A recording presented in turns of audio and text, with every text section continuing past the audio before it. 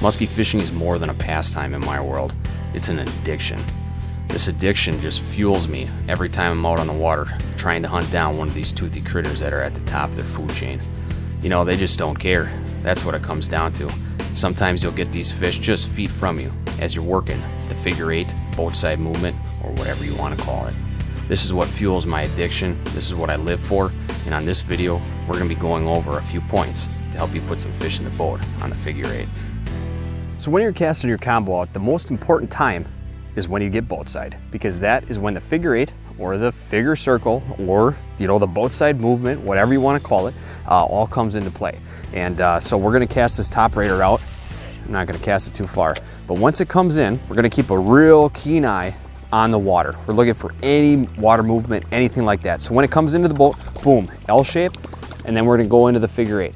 Now the top raider here, I'd like to get it up, keep it up on the L, and then I'll dip it down a few inches underwater. Don't be afraid to go real deep if you have to. Um, keep a good eye behind the bait. Now we're fishing a real dark water right now, so you can't see. So I like to make, you know, a couple passes. It doesn't have to be a complete eight like everyone talks about. You know, you can throw in you know, a straight, uh, you know, oval shape on it, just like that. Um, and just keep it going. You can throw in little twitches here and there. Uh, you're just gonna keep it moving. But the most important thing, the most important thing is you do not wanna slow it down. If anything, as it's coming to the boat, you wanna speed it up. You know, you wanna keep it, you know, fast. So I'm just gonna whip it out here a little bit. So as it's coming into the boat here, here it's getting to the boat side, I'm gonna speed it up. I'm gonna speed it up even faster and I'm gonna come right smoothly into that figure eight. Boom, L shape, and I'm in the eight right now. Maybe I wanna go into the oval. All right, there goes an oval. Maybe throw a little twitches in here and there, but you don't wanna slow it down, especially, especially if you see a fish behind it, because you gotta remember, these fish are fast.